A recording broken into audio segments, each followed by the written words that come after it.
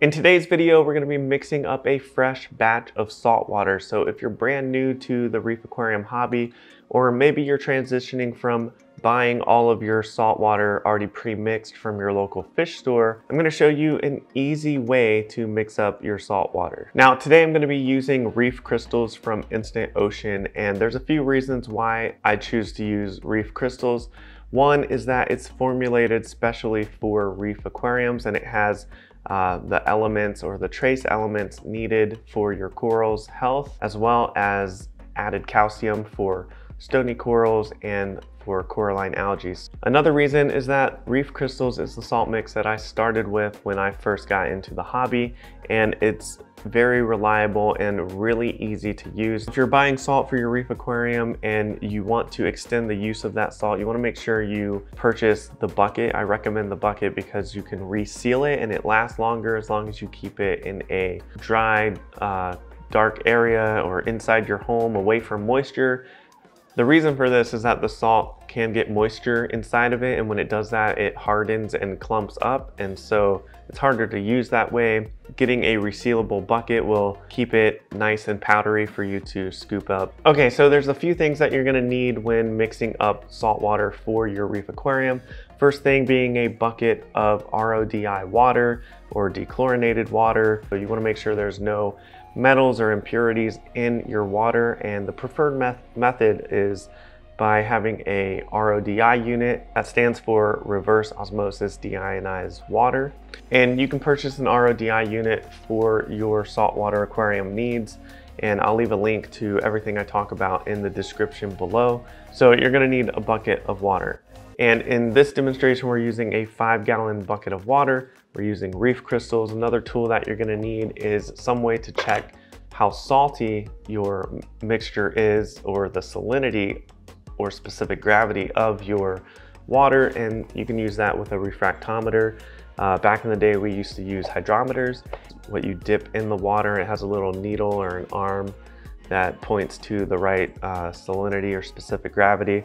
A, refra a, refractometer works by dripping a few drops on the end of it and looking up into the light and the light refracts off of the water, giving you a reading of your specific gravity or salinity.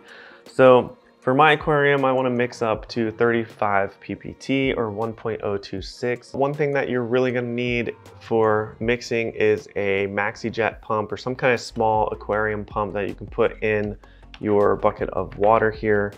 And we're just gonna put that in like so. And then we're gonna plug it in uh, like this right here. So what this is gonna do is make the mixing process easier for you because now we have the water inside turning over and then we can get to the salt. So we're gonna go ahead and open up the Reef Crystals bucket of salt right here. Now what I really like about Reef Crystals is that they make it really easy to mix your salt. All you need is a half a cup per one US gallon. So I usually keep my half a cup scoop in my salt mix. It's plastic, nothing's gonna happen. I'm not using any metal, so it's not gonna rust or anything. Now, what you wanna do if you're mixing up, let's say if you're doing four gallons, you wanna do four half cup scoops. In my case, we're pretty close to five gallons, so I'm gonna do five half cup scoops. So you wanna get in there, get a nice scoop of salt, kind of shake it off to level it out.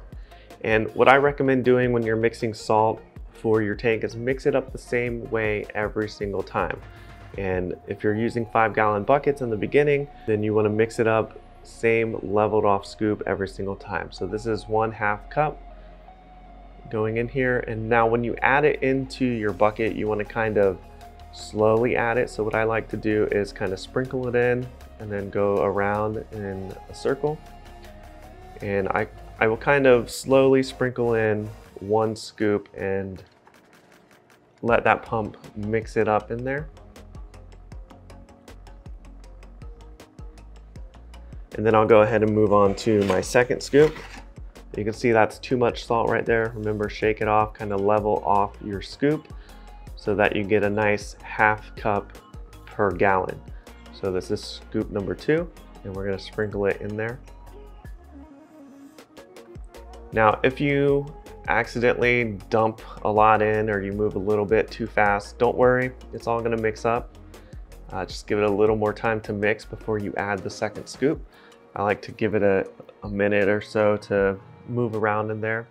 Now, how long does your mixture need to mix before you add it into your aquarium? Well, a simple answer is until it mixes perfectly clear. Here's the third scoop, leveled out. We're gonna put that in there. So easy answer until you don't see any more salt in there. Um, it's all mixed up. The water is clear.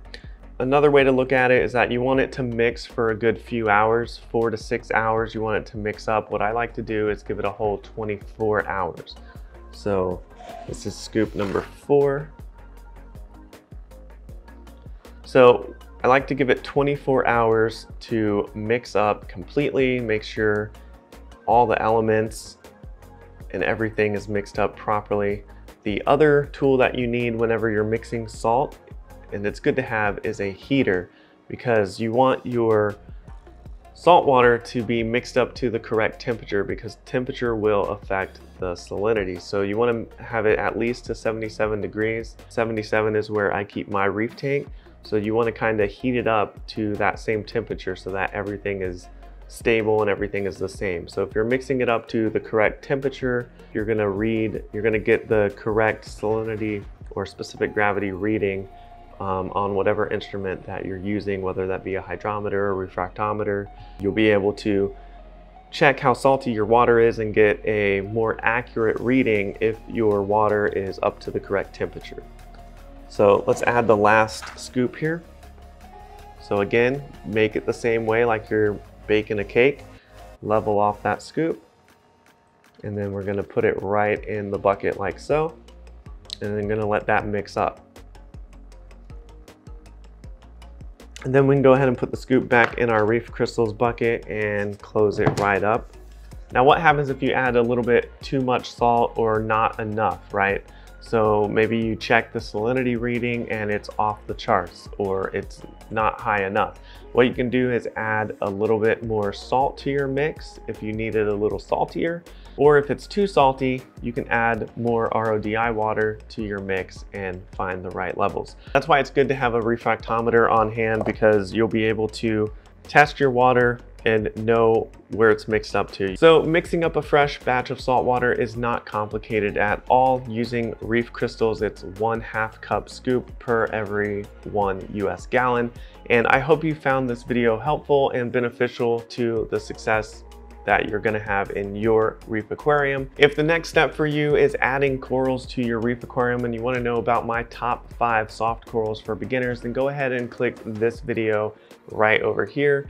Thank you so much for watching, liking, and subscribing, and I'll see you in the next one.